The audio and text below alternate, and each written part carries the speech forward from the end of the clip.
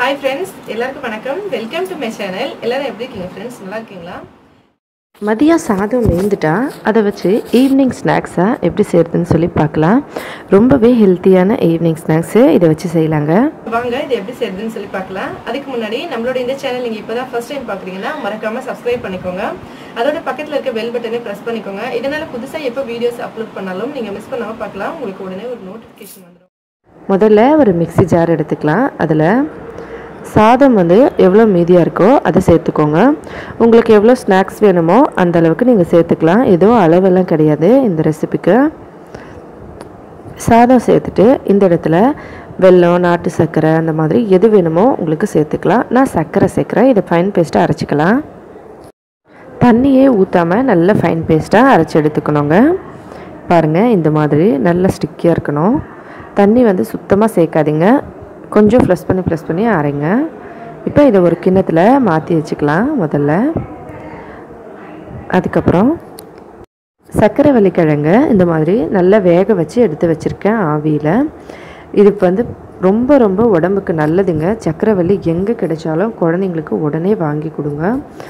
ஒருவேளை உங்களுக்கு சக்கரவள்ளி கிழங்கு கிடைக்கலன்னா நீங்கள் என்ன ஸ்டஃபிங் வேணாலும் வச்சுக்கலாம். இதை இப்போ தோல் உரித்து இந்த மாதிரி நல்லா மேஷ் பண்ணி வச்சுக்கலாம்.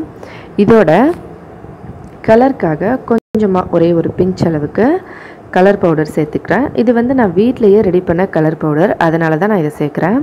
அதோட ஸ்வீட்னஸ்க்காக லைட்டாக சர்க்கரை. சர்க்கரை வள்ளிக்கிழங்கு ஏற்கனவே ஸ்வீட்டாக இருக்கும். இன்னும் தான் கொஞ்சமாக சேர்த்துக்கலாம்.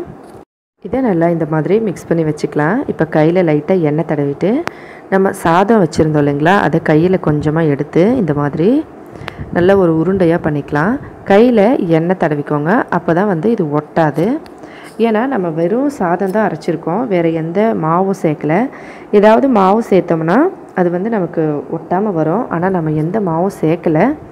இப்போ இந்த ஸ்டஃப்பிங் நம்ம உள்ளுக்குள்ளே வச்சு இந்த மாதிரி இதை எல்லா சைடும் மூடிடலாம். குழந்தைங்களுக்கு இந்த மாதிரி ஈவினிங் டைமில் செஞ்சு கொடுத்தீங்கன்னா ஸ்கூல்லேருந்து வந்த உடனே அவங்க விரும்பி சாப்பிடுவாங்க. அதோட ரொம்பவே ஹெல்த்தியான ஒரு ஸ்நாக்ஸாக இருக்கும். தினம் ஒரே மாதிரி செஞ்சு கொடுக்குறதுக்கு இந்த மாதிரி டிஃப்ரெண்ட் டிஃப்ரெண்ட்டாக குழந்தைங்களுக்கு செஞ்சு கொடுத்தோம்னா குழந்தைங்களும் விரும்பி சாப்பிடுவாங்க. அவங்களோட ஹெல்த்துக்கும் ரொம்ப ரொம்ப நல்லது. சக்கரை கிழங்கு அதோடு ரொம்ப ரொம்ப நல்லதுங்க. நீங்கள் கிடைச்சா உடனே வாங்கி செஞ்சு கொடுத்துருங்க. ஒருவேளை உங்களுக்கு சக்கரை வெள்ளிக்கிழங்கு கிடைக்கலன்னா நீங்கள் என்ன ஸ்டஃப்பிங் வேணாலும் இந்த இடத்துல வச்சுக்கலாம். இந்த மாதிரி நல்லா மாவு வந்து கொஞ்சம் இந்த மாதிரி ஸ்டிக்கியாக தான் இருக்கும். அதனால் நீங்கள் கையில் எண்ணெய் தொட்டு இந்த மாதிரி ரெடி பண்ணிக்கோங்க. இப்போ ஒரு கடாயில் லைட்டாக எண்ணெய் தடவிடலாம். அதில் நம்ம ரெடி பண்ணி வச்சுருக்க இந்த மிக்சிங்கை வந்து சேர்க்கலாம்.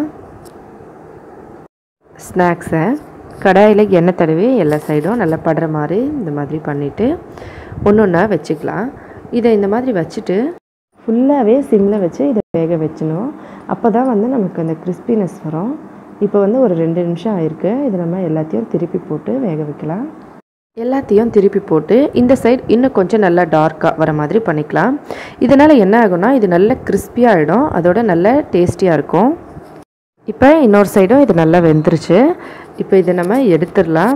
இதை வந்து ஃபுல்லாகவே சிம்மில் வச்சு செய்யுங்க அப்போ தான் ரெண்டு சைடும் நல்ல கிறிஸ்பியாகி வரும்.